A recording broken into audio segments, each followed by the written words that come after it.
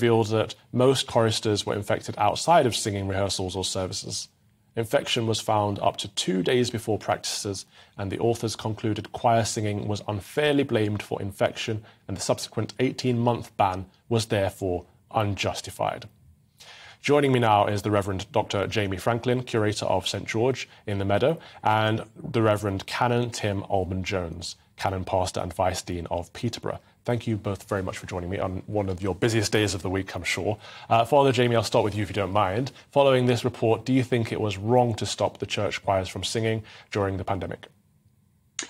Thanks, Gavin. Uh, yeah, yeah, I, I, I, do. I think that this is another instance um, of um, tyranny in the name of science and um, these supposedly unassailable scientific consensuses should have been interrogated more thoroughly than they were. When you read the report, it really seems that this is based on this, especially the singing band, but also the indoor gatherings. This was really based on on very little in terms of this um, scientific paper, uh, which, uh, according to a, a fairly um, rigorous but also straightforward analysis turns out to be um, unreliable. So yeah, of course, of course, it was unjustified. And you know, from a theological perspective, I think we also want to say that um, God has made us uh, with with voices, with the capacity to sing, to worship and praise Him. He's given us uh, a book full of songs in, in the Psalms and Scripture, and uh, we shouldn't have given that up so easily. We should have interrogated the reasons for it, and we should have applied some kind of theological perspective to it as well. So, okay. So there's a debate to be had about whether it's unreliable or if it's just been questioned. But did the ban lead to modern day witch hunts for choir singers? And I'll, I'll come to you in a minute, Canon Tim, but Father um, Jamie, if you could answer that one.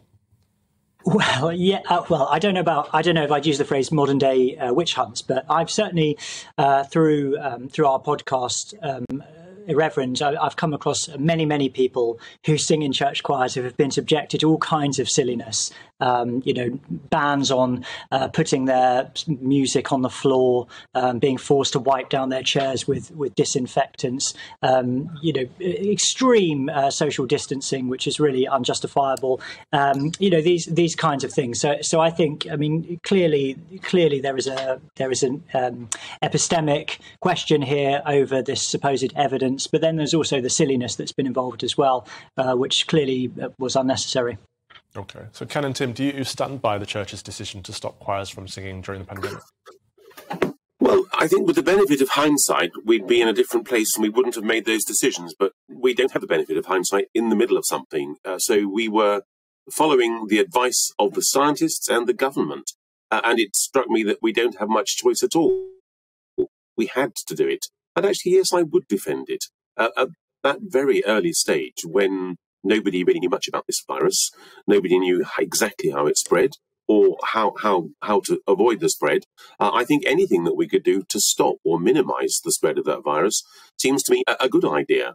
As you as I said, with the benefit of hindsight, we can see that actually choirs are not the ways to spread it, uh, and it's good that that report has finally um, put put a nail in the coffin of that particular a fallacy. But at the time, I think it was the right thing to do. Okay. Um, I mean, I would argue that perhaps some people might say it's not about hindsight because there were lots of scientists and lots of people loudly proclaiming this at the time too. So that might be seen as a bit of a cop out. But to suggest that you would still defend this decision now, so if we, if, if God forbid we had another lockdown and the government said uh, or the church said, look, you have to stop choirs in churches, would you defend the, would you defend that stance? No, that wasn't that, that wasn't what I said. I said with the benefit of hindsight, uh, I, if it came out now, then I would I would protest loudly because the science has proved that things uh, have are different. That's not how how it spread. Um, I, I, sing in an amateur choir, and it was very painful not to be able to sing for, for those eighteen months. And I'm uh, canon at one of the cathedrals in the country here at Peterborough, uh, and it was deeply sad not to have our choir singing as they do every day during term times.